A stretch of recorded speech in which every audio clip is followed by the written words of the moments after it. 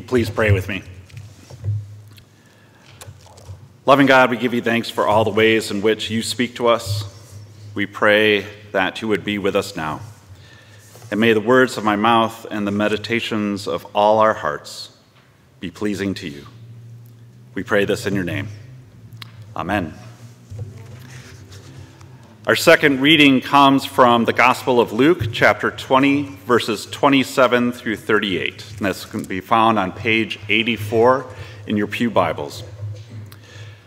Some Sadducees, those who say there is no resurrection, came to Jesus and asked him a question Teacher, Moses wrote for us that if a man's brother dies, leaving a wife but no children, the man shall marry the widow and raise up children for his brother.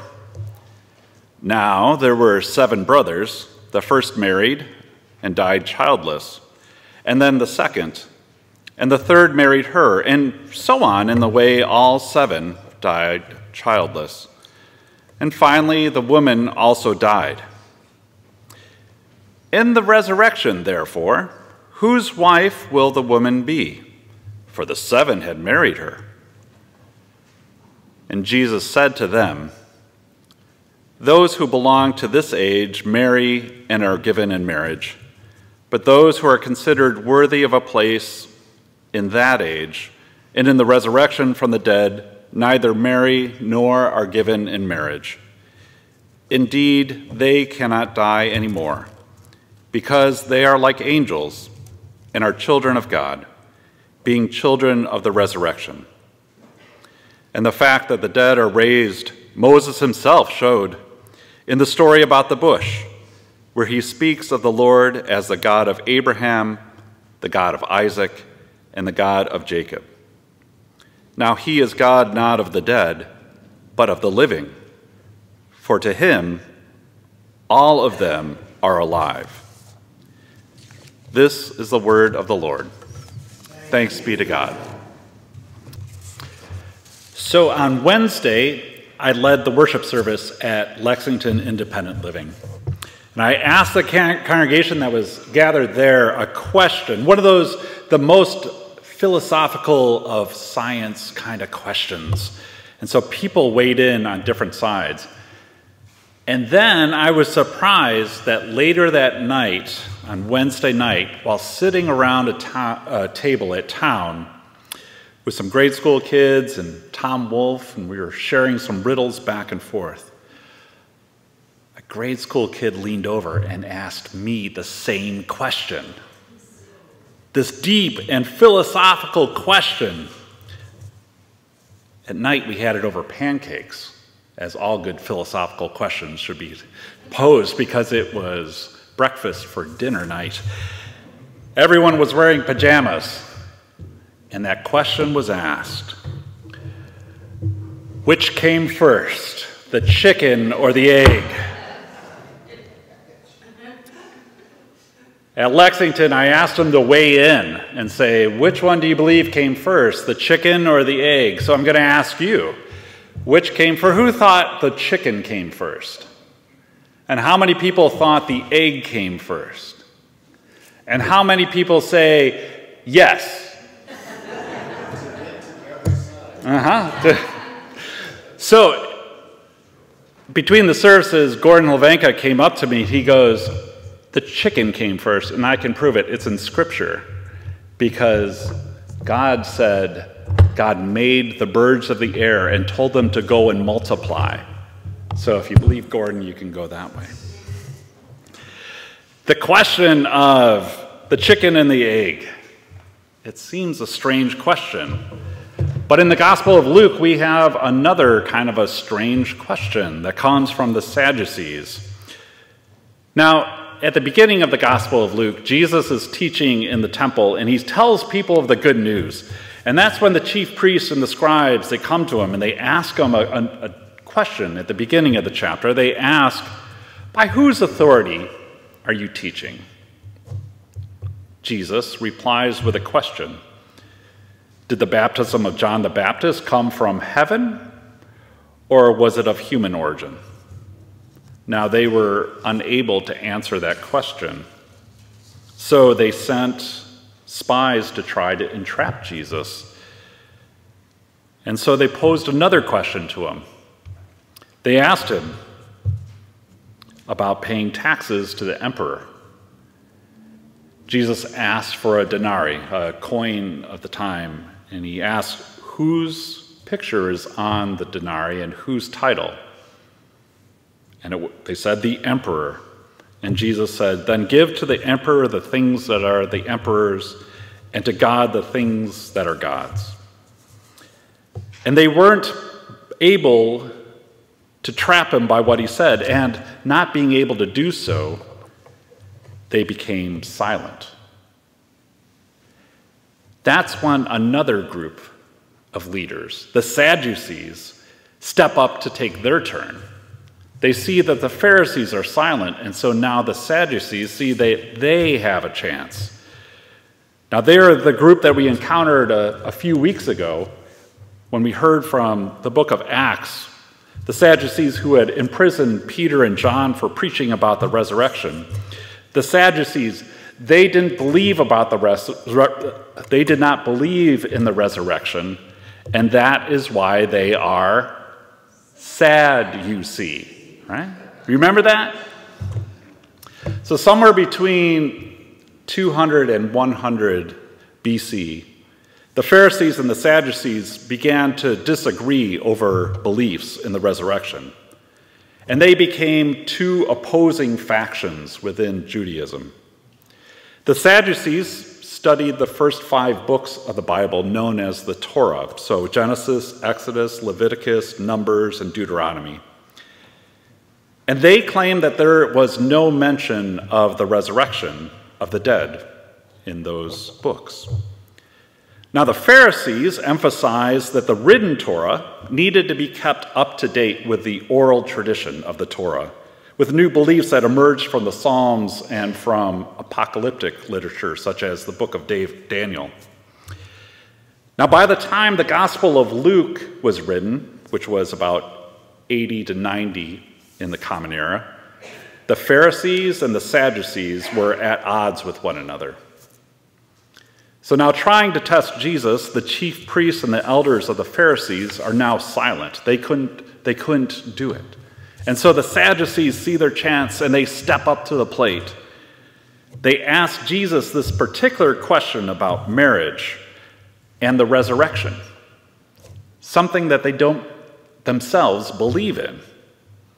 And they're trying to trick Jesus. The, the intent of their questions, as Pastor Kathy said, they were trying to trick Jesus, to say the wrong things, to make him look foolish, and to make onlookers realize that maybe he's not so trustworthy or knowledgeable. So they tell the story of seven brothers and a woman, all of whom have died, and they asked, which ones are married in the afterlife? This, this made up scenario is meant to make fun of Jesus, but he takes this seriously and he answers their questions. Now, you know, this life, with all of its twists and its turns, it can be confusing, but this life is a blessing. We all experience different things. Some of those things are absolutely wonderful, and other experiences are not so great. It is part of being human. We have both remarkable joys to celebrate, and we have some truly overwhelming struggles to contend with in this life. Throughout our lives, we make friends and we grow friendships, but we also lose friends, and friendships become broken.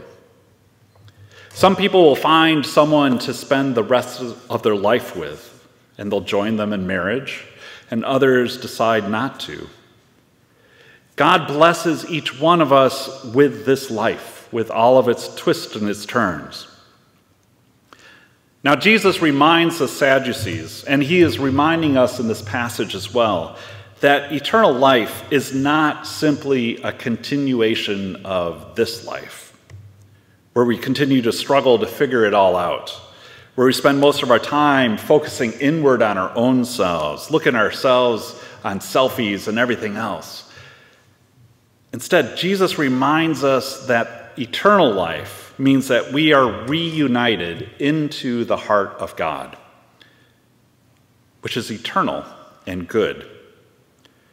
One writer put it very well. He said, The decisive point that Jesus is making to the Sadducees is that death is the end of many things, but it is not the end of everything. Our death is not the end of God. When we die, we finish the race to accumulate more. We end the cycle of building up our own egos. We stop chasing after the illusion of perfection. We end all the things that we started and never finished and never will finish. As the saying goes, you can't take it with you. Death changes our relationships. Marriages do come to an end. But for those still living in this world, those memories of loved ones can often continue to be cherished and warm our hearts. That relationship with our loved one changes. We all know that death changes many things. But our death does not change God. It does not mean the end of God. God calls us to love one another. We are called to attend to those that are in need. We call to work together to improve the condition here on earth, to celebrate the gift that God has given us in this life, and to share those gifts with one another. Jesus is encouraging us to build each other up and not to tear each other apart. When I read between the lines in the gospel lesson today, I imagine Jesus giving out a deep sigh before answering. Why do we try to make one another look foolish? Why do we try to deceive one another? Our work on earth here is to share the peace of Christ with each other. Our purpose on earth is to glorify God and to enjoy God forever. When we help those in need, when we provide shelter to those who have none, when we feed the hungry, when we promote God's just and good ways, when we welcome one another and lift each other up in love, God is glorified. That's what we're to do in this world. In his answer, Jesus reveals what is yet to come. In heaven, all are considered to be like angels and children of God, being the children of the resurrection. This is such an amazing and radical statement. In heaven, there won't be the social political strata that we try to build on each other. There won't be those that are less than us or those that are greater than us. No more kings or queens kings or queens, presidents, rulers, bosses, intimidators, as well as no one underneath us, no one above us, all loved by God. No more feeling like you're the last one picked for dodgeball. I hated that feeling. And sometimes I still feel that in this life. In death, we will be transformed and welcomed into the heart of God.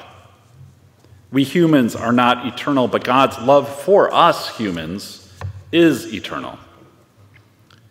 Jesus talks about this age and that age.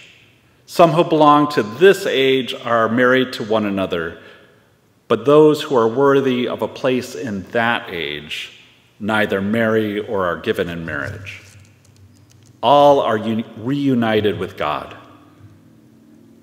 So, what does that look like? I don't have the answer. I can imagine, I can use my own human understanding of this life to look forward to what that life will look like. But there's only one who comes back and tells us it's Jesus, who reminds us.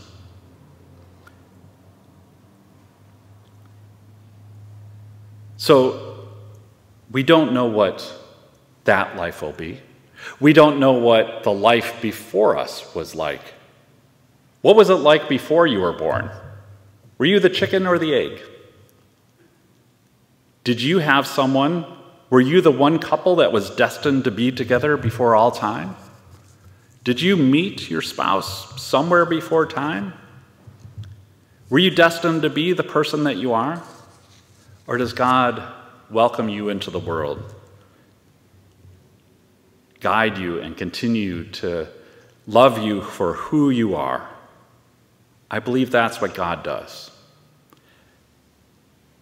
And I also believe that God sent Jesus into a particular time in history to open our understanding of how we are to call each other towards God, to love one another in this age, and to look forward to the age to come.